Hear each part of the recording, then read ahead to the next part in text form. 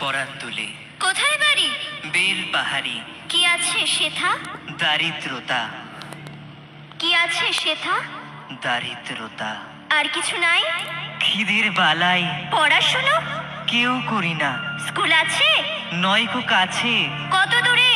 দীপান্তরে master কটা? মোটে একটা। স্কুল চলে? গলিমালে। বাবা আছেন? সবকে গেছেন। মা কোথায়? রোগ সজ্জায় সংসার চলে? ভিক্ষা পেলে। থাকিস কোথায়? গাছের তলায়। ঝড় বাদলে? ভিজি জলে। ডাক্তারখানা? একটাও না। অসুখ বিসুখ? সব ঝাড়ফুঁক পূজা পার্বণ? শুধু শালবন। হিন্দু না বৌদ্ধ? জনযুদ্ধ। কেন হোলি কি করে বলি? পুলিশ আসে? মাসে মাসে। এসে কি করে? মারে ধরে। তারপরে? জেলেও পড়ে। কি পাস জেলে?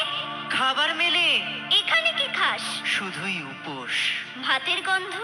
ছ মাস বন্ধ। বাঁচিস কিসে? সন্ত্রাসে। আচ্ছা চলি। আসব পরে।